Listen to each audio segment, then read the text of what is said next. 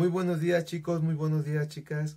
Reciban un muy fuerte abrazo virtual de cada uno de, los integrantes que les tenemos el privilegio de servir en Casa de Oración Zumpango en Iglesia Juvenil. Reciban un saludo de Rafita, un saludo de Kenia, un saludo de, de Monse y un saludo de, de Jonathan, su servidor. Esperemos que esté bien.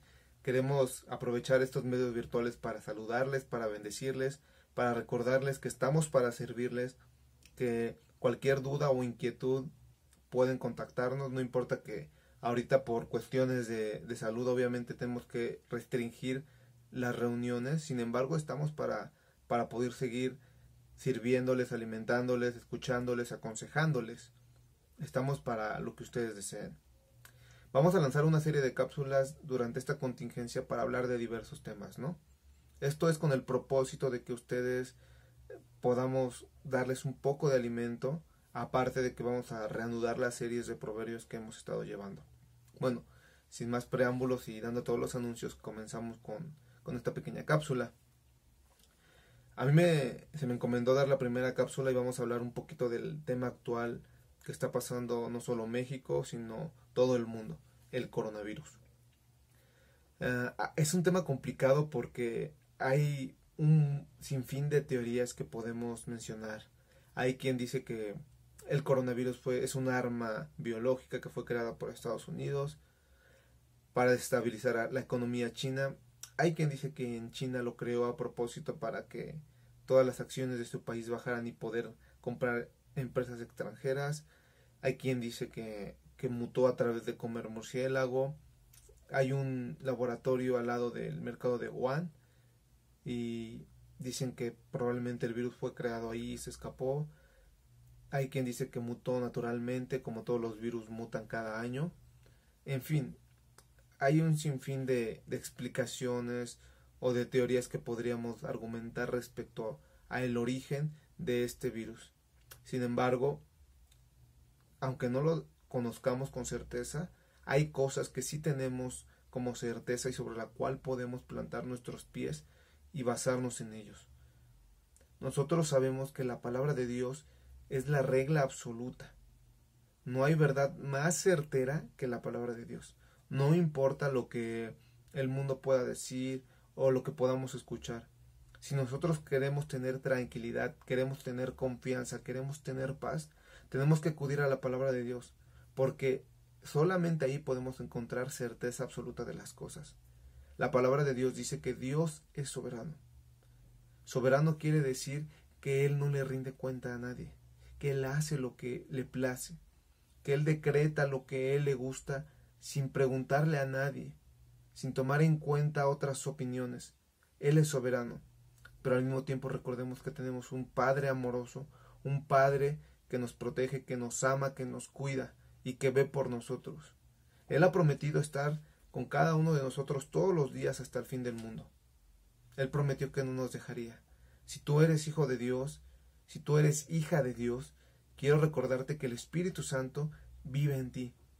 El Espíritu Santo es un sello en ti y ha sido marcado con él para el día en que venga nuestro Señor Jesucristo para identificar a los suyos. Entonces, quiero recordarte que tengas paz, Dice la palabra de Dios en Lamentaciones 3:37. ¿Quién será aquel que diga que sucedió algo que el Señor no mandó? Recuerda, no estoy diciendo que Dios decretó en su trono soberanamente, voy a mandar una plaga. Si lo hizo, Él es soberano y sabe por qué lo hace. Opinión personal, creo que no pasó así. Sin embargo, recordemos que Dios utiliza todas las cosas que suceden, la maldad del hombre incluso, para cumplir sus propósitos. Recordemos el ejemplo de Jesucristo. Jesucristo era inocente. Poncio Pilatos vio que era inocente. Y sin embargo, por la presión de los judíos, del sumo sacerdote, Poncio Pilatos crucifica a Cristo. El plan de Dios es que Cristo muriera. Utilizó la maldad de los hombres para llevar a cabo sus propósitos. Eso se llama soberanía. Eso se llama tener el control. Eso se llama ser Dios. Que incluso cuando pierdo, resulto ganador. Ese es nuestro Dios. Dios controla todas las cosas y no me cabe duda que aún en medio de esta crisis sanitaria, económica, Dios sigue manifestándose, Dios sigue siendo Dios, Dios no ha perdido control absolutamente de nada. Recuerdo una frase que les comentaba en una de las predicaciones.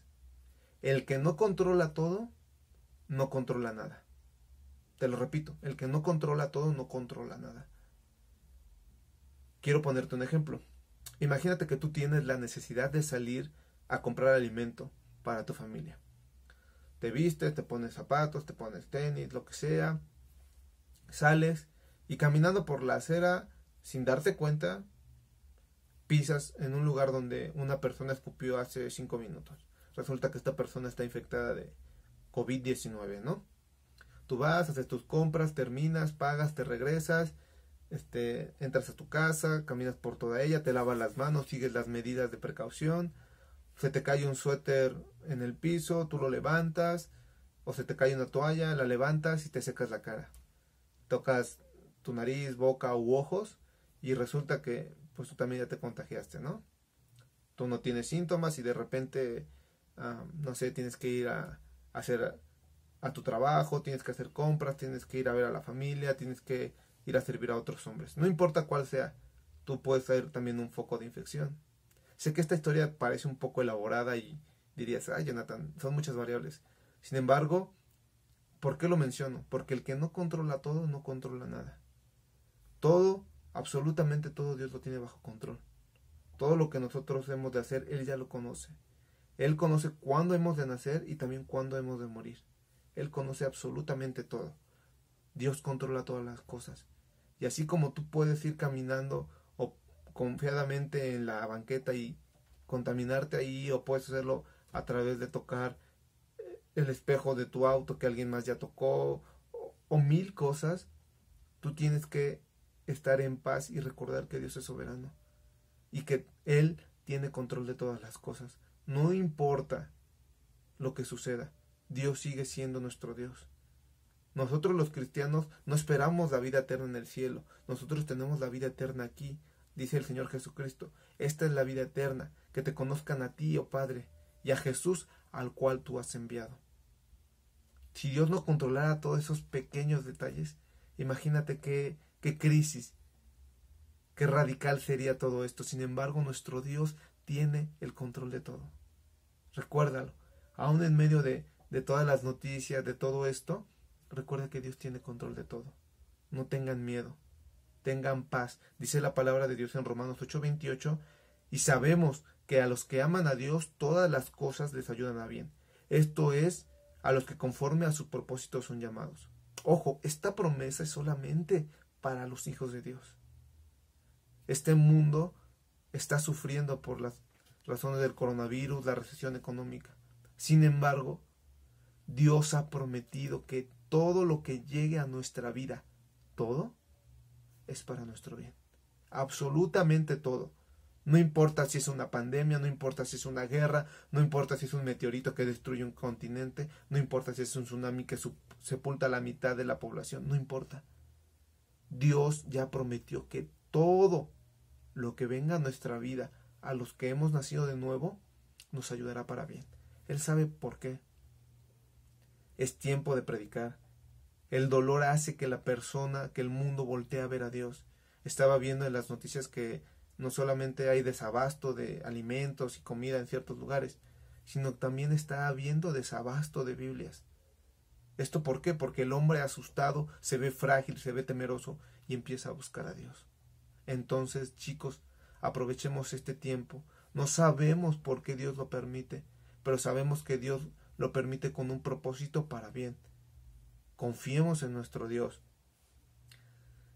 Quiero darles unas pequeñas recomendaciones muy prácticas. Obedezcamos a las autoridades. Ninguna de las medidas que nos están pidiendo contraviene la palabra de Dios. Seamos prudentes al no, al no abrazar a las personas, al tener una sana distancia, al lavarnos las manos continuamente. Seamos obedientes, seamos ejemplos en esto que también puedan ver que los hijos de Dios nos sabemos sujetar a las autoridades que Dios mismo, Dios mismo ha puesto.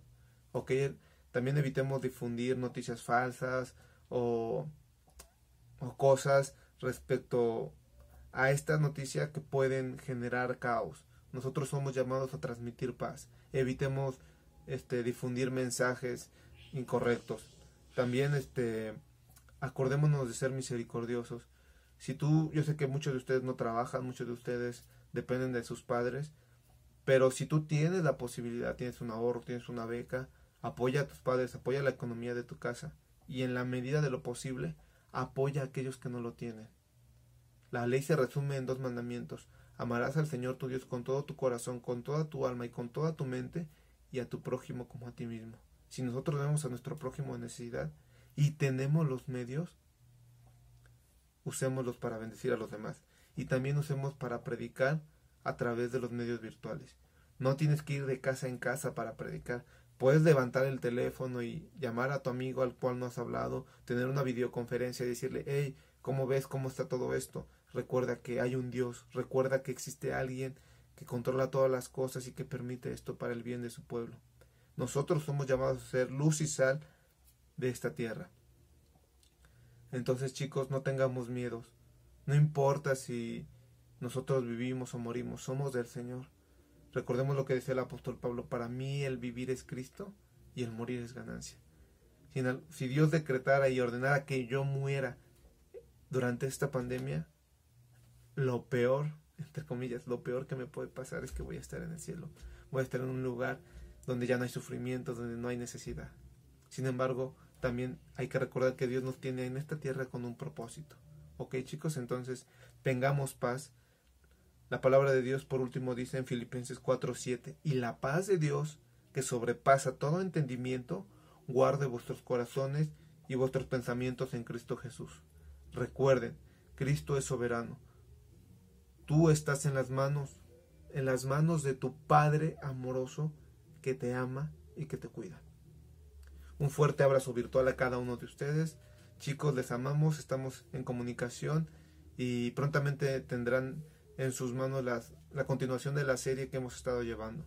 Les mandamos un saludo de todo el equipo de, de, liderazgo de Casa de Oración Zumpango, de los pastores, de los ancianos, de los diáconos y de los servidores de jóvenes que tenemos el privilegio de estar con ustedes. Dios les bendiga y no tengan miedo. Recuerden, nuestro Dios está sentado en su trono y Él controla todas las cosas. Controla tu vida y controla mi vida. Dios les bendiga chicos. Un abrazo.